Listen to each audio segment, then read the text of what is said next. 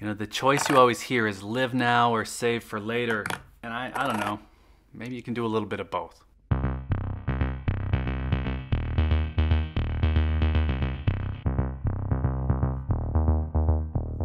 Okay, so today I wanted to make a few quick points about getting ahead and being happy. So, of course, we're going to start with metals. I think precious metals are a fantastic way to save. You know that I personally like gold, so we're going to start there. Now, gold is an appreciating tier one asset that's off the grid. It acts in some ways as a hedge against certain economic failures. It is safe. It's also physically impressive. It has a way of holding your attention away from other shiny things that don't really buy happiness and ultimately are a waste of money. We're going to come back to that. Now, you can substitute silver for gold if that's the metal you prefer, or substitute some mix of silver and gold, platinum, whatever. But regardless of the metals that you like, what they all lack is yields and compound growth. So you aren't truly going to get ahead if you're just buying metals. Now, I'm not saying that to be down on precious metals, and it shouldn't even need to be said, except there are channels telling you to rush out and buy silver because today is your last chance. Maybe it was yesterday, I forget. Whatever. Next month, there will be another day that's your last chance because silver is going to explode. So don't listen to those people. They are driven by ad revenue, and they know that the more they exaggerate, the more they get paid. Now, if you truly want to get ahead and be happy, you can do three things you can save, you can invest consistently, and you can avoid lifestyle escalation. Now, those three things alone are not going to make you happy, but they will help you expand your wealth and reduce your financial stress. I've said this before, I'll say it again. Gold and other precious metals are a great way to save. I'm going to give a few reasons here in a minute. So, we're going to look at investing. Investing in equities gives you a bit more flexibility to pick your risk tolerance, to find high performing stocks, to find dividend stocks, and that allows you to take advantage of compound interest and compound growth. And then in the case of tax advantaged accounts, it lets you do some of this pre-tax. And depending on your employment situation, you can even take advantage of a corporate match. I'm sure we've all seen the chart of gold beating the S&P 500 from 2000 to 2020. But that chart is incredibly misleading and the people who show it either don't know or don't care. Now, gold was at an extreme low and the S&P 500 was at an extreme high in January of 2000. Now, I'm old enough to say that I was there. So that chart just simply tells you something that is not true.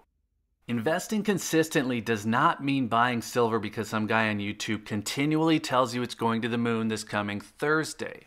Silver and gold are a lot more like savings, they just happen to have some extra potential. Now, the reason I bring up diversification is simply that if you're younger than I am, and I'm, I'll just say I'm older than 39, investing in the market consistently gives you options that you don't have with gold or silver.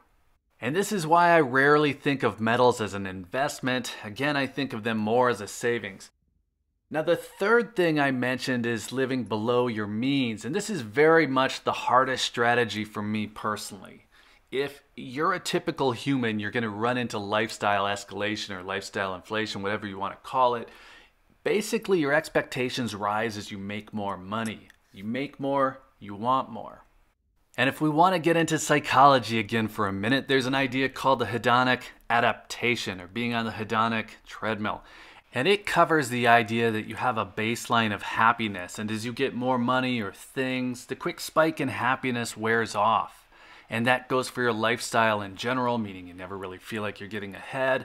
And it also goes for one off purchases you make, like that new car you just bought or that fancy watch. Excitement wears off, and then you want something new again. And these three things work together because if you can't find a way to live below your means, then you can't save and you can't invest. And if you want to get ahead or just be comfortable at retirement age, you need to do those things. So if we just look at some math for a minute, if you want to save $1 million by the time you're 65, we'll just use round numbers, and it's very common. You can find this just by Googling it. If you start investing in your 20s, that's going to give you 40 years to save. Now, I'm using the words save and invest interchangeably here for a minute, but however your mix works, we're going to assume a 10% rate of return. I'm just using common numbers. I've personally had a higher return than that. It also just kind of makes the math easy. Now, if you start when you're 25, you need to invest $179 a month to get to a million dollars at retirement age of 65.